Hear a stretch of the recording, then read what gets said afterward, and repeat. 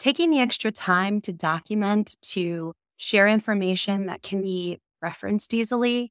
Um, you know, it, it, it is kind of a, a key element of an effective team is having that ecosystem of information available. Um, and so taking the extra time to make to make things explicit I think this also kind of gets into a really important leadership concept of like being very transparent and explicit with your expectations, right?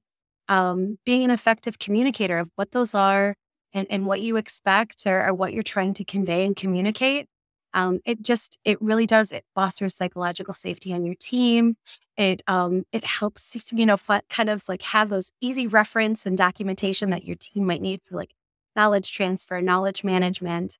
Um, and those small labors and effort uh, in the long run, I think they really do make a large impact.